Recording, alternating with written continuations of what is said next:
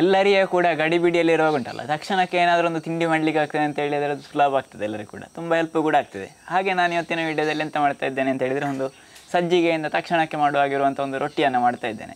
ಹಾಗೆ ಅದಕ್ಕೆ ಸುಲಭವಾಗಿ ಮಾಡಲಿಕ್ಕೆ ಆಗ್ತದೆ. ಎಂತೆಲ್ಲ ಬೇಕು ಅಂತ ಹೇಳಿದರೆ ಇಲ್ಲಿ ಒಂದು ನೀರುಳ್ಳಿ, ಮತ್ತೊಂದು ಎರಡು ಹಸಿಮೆಣಸು, ಅದೊಂದು ಸಣ್ಣ ತುಂಡು ಶುಂಠಿ, ಒಂದು ಸ್ವಲ್ಪ ಬೇವು ಸೊಪ್ಪು, ಮತ್ತೊಂದು ಸ್ವಲ್ಪ ಕೊತ್ತಂಬರಿ ಸೊಪ್ಪು, ಎಲ್ಲವನ್ನು ಕೂಡ ಚಿಕ್ಕಕ್ಕೆ ಕೊಚ್ಚಿ ಹಾಕಿಕೊಂಡಿದ್ದೇನೆ. ತೆಂಗಿನಕಾಯಿಯನ್ನು ಚಿಕ್ಕ ಚಿಕ್ಕ ಸುಳ್ಳಿಯಾಗಿ ಕರೆದುಕೊಂಡದ್ದು. ಇದನ್ನು ಸೇರಿಸಿಕೊಳ್ತೇನೆ ರುಚಿಗೆ ತಕ್ಕಷ್ಟು ಉಪ್ಪು. ಸರಿಯಾಗಿ ಬೆರೆಸಿಕೊಳ್ಳೋದು ಇದನ್ನು.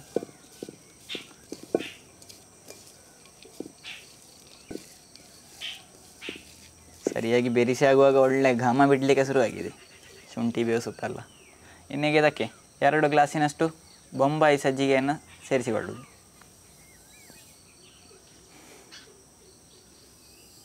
ಇನ್ನು ಇದನ್ನು ಚಂದಕ್ಕೆ ಬೆರೆಸಿಕೊಳ್ತೇನೆ.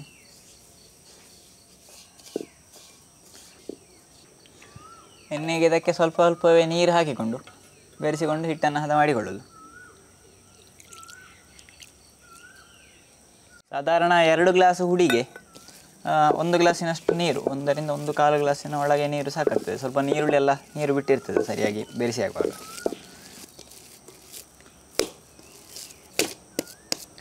ಹಿಟ್ಟು ರೆಡಿ ಆಯಿತು ನೋಡಿ.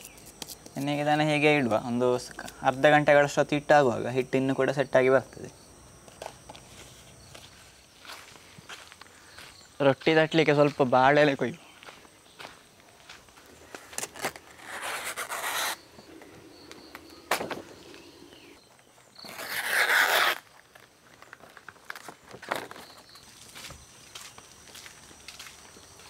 ಬಾಳೆ ಎಲ್ಲ ರೆಡಿಯಾಗಿದೆ ನೋಡಿ. ಇನ್ನೀಗ ರೊಟ್ಟಿ ಹಸಿಕೊಂಡ್ರೆ ಆಯಿತು. ಅಮ್ಮ ಕೂಡ ಇದ್ದಾರೆ ನನ್ನೊಟ್ಟಿಗೆ ರೊಟ್ಟಿ ಹಸ್ಲಿಕ್ಕೆ ಅಂತೇಳಿ. ಹಿಟ್ಟನ್ನು ಸರಿಯಾಗಿ ಸೆಟ್ ಮಾಡಿಕೊಂಡು ರೊಟ್ಟಿ ರೊಟ್ಟಿ ಹಸಿಕೊಂಡ್ರೆ ಆಯಿತು. ಒಂದು ಅರ್ಧ ಗಂಟೆ ಹಿಟ್ಟಾಗುವಾಗ ಸಜ್ಜಿಗೆಲ್ಲ ನೀರನ್ನು ಎಳೆದು ಸ್ವಲ್ಪ ಗಟ್ಟಿಯಾದಾಗ ಆಯಿತು. ಹಾಗೆ ಸ್ವಲ್ಪ ನೀರು ಸೇರಿಸಿಕೊಂಡು ಹಿಟ್ಟನ್ನು ಹದ ಮಾಡಿಕೊಳ್ಳೋದು ಹಿಟ್ಟಿನ ಹದ ಯಾವ ರೀತಿಯಾಗಿ ಉಂಟು ಅಂತೇಳಿ ನೋಡಿ. ರೊಟ್ಟಿಯನ್ನೆಲ್ಲ ಬಾಳೆಲೆಯಲ್ಲಿ ಹಚ್ಚುವಾಗ ಅದು ಹಳೆ ಕಾಲದವರಾದರೆ ಒಂದೇ ರೀತಿ ಎಲ್ಲ ಕಡೆ ಒಂದೇ ರೀತಿಯಾಗಿ ಬರ್ತದೆ. ಮನೆಯ ಚಿತ್ರ ಇದ್ದಾರೆ. ಎಲ್ಲ ಎಕ್ಸ್ಪೀರಿಯನ್ಸ್ ಉಂಟು. ರೊಟ್ಟಿ ತಟ್ಟುವಾಗ ಕೂಡ ಕೈಗೆ ನೀರನ್ನು ಮುಟ್ಟಿಕೊಂಡು ತಟ್ಟುವಂಥದ್ದು ಹಾಗೆ ಒಂದು ಬೌಲ್ನಲ್ಲಿ ನೀರನ್ನು ತಗೊಂಡಿದ್ದಾರೆ ಕೈಗೆ ನೀರು ಮುಟ್ಟಿ ಮುಟ್ಟಿ ರೊಟ್ಟಿಯನ್ನು ತಟ್ಟಿಕೊಳ್ತಾರೆ ಇಲ್ಲದೆ ತಟ್ಟಲಿಗೆ ಕೂಡ ಬರೋದಿಲ್ಲ. ಹಾಗೆ ಸರಿಯಾಗಿ ನೀರಿನ ಪಸ ಇದ್ದಷ್ಟು ಒಳ್ಳೆಯದು ಅಂದರೆ ರೊಟ್ಟಿ ಬೇಯಲಿಗೆ ಕೂಡ ಸ್ಮೂತಾಗಿ ಬರ್ತದೆ. ನೋಡಿ, ಎಷ್ಟು ತೆಳುವಾಗಿ ಆಗ್ತದೆ, ಅಷ್ಟು ತೆಳುವಾಗಿ ಬಾಳೆ ಎಲೆಯಲ್ಲಿ ಹರಡಿಕೊಳ್ಳುವುದು ಅಮ್ಮ ರೊಟ್ಟಿ ಎಲ್ಲ ತಟ್ಟಿದ್ದಾರೆ ಇನ್ನೀಗ ಇದನ್ನು ಬೇಯಿಸಿಕೊಳ್ತೇನೆ ಅವಲಿಗೆ ಬಿಸಿ ಆದಮೇಲೆ ರೊಟ್ಟಿಯನ್ನು ಹಾಕಿಕೊಂಡು ಮುಚ್ಚಿದರೆ ಆಯಿತು.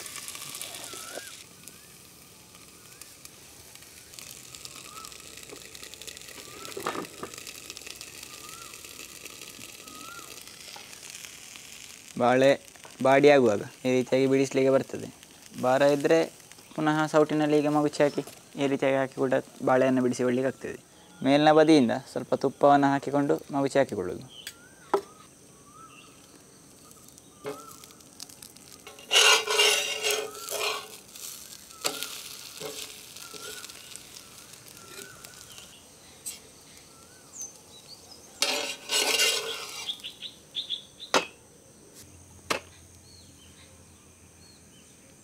ರೊಟ್ಟಿಯನ್ನು ಹಾಗೆ ಬೇಕಾದರೂ ತಿನ್ಬೋದು. ಇಲ್ಲದಿದ್ದರೆ ಚಟ್ನಿಯನ್ನು ಸೇರಿಸಿ ತಿನ್ಬೋದು. ಒಳ್ಳೆಯದಾಗ್ತದೆ ಚಟ್ನಿಯನ್ನು ಮಾಡೋದು ಹೇಗೆ ಅಂತೇಳಿ ಮೊದಲೇ ಕೆಲವೆಲ್ಲ ವಿಡಿಯೋಗಳನ್ನು ಹಾಕಿದ್ದೇನೆ. ಇನ್ನೀಗ ತಿಂದು ನೋಡುವ ಹೇಗಾಗಿದೆ ಅಂತೇಳಿ. ತಗೊಂಟು ರೊಟ್ಟಿ.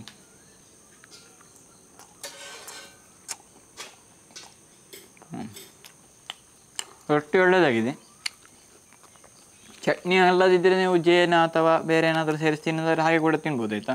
ಒಳ್ಳೆಯದಾಗ್ತದೆ ಬೆಳಗಿನ ಗಡಿಬಿಡಿಗೆ ಅಥವಾ ಸಂಜೆ ಹೊತ್ತಿಗಾದರೂ ಕೂಡ ಎರಡು ಹೊತ್ತಿಗಾದರೂ ತಕ್ಷಣಕ್ಕೆ ಮಾಡುವಾಗಿರುವಂಥ ಒಂದು ರೊಟ್ಟಿ. ನಾನೀಗ ಎರಡು ಗ್ಲಾಸು ಸಜ್ಜಿಗೆಯಲ್ಲಿ ಮಾಡಿದ್ದು. ಒಂದು ಸಾಧಾರಣ ಏಳರಿಂದ ಎಂಟು ರೊಟ್ಟಿ ಏಳರೇ ಆಗಿದೆ. ಹೀಗೆ ಬೊಂಬೈ ಸಜ್ಜಿಗೆ ಆದರೆ ಹೀಗೆ ಮಾಡಿಕೊಳ್ಬೋದು ತಕ್ಷಣಕ್ಕೆ.